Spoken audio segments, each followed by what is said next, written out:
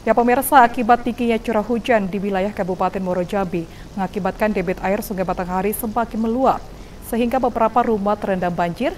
Menyikapi hal tersebut, penjabat Bupati Bahyuni Liliansyah memastikan serta melakukan pengecekan kesiapan ketersediaan stok makanan dan kebutuhan di Dinas Sosial aman.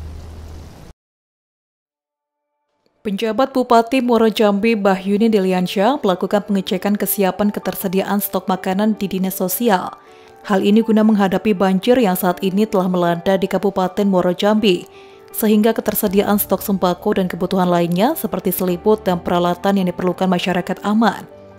Penjabat Bupati Muaro Jambi Bahyuni Deliansyah menyebutkan, diharapkan petugas segera mendata jumlah warga, lansia dan bayi, agar dapat menetapkan serta menyediakan tempat pengungsian. Penjabat Bahyuni menuturkan untuk ketersediaan stok makanan siap saji, tenda, selimut, di Dinas Sosial saat ini masih dapat terpenuhi.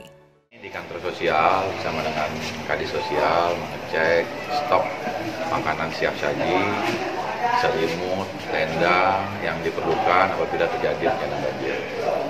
Hari ini stok ini masih mencukupi, cuma saya minta tolong sama Pak Kadis untuk yang 2024 ini dipercepat.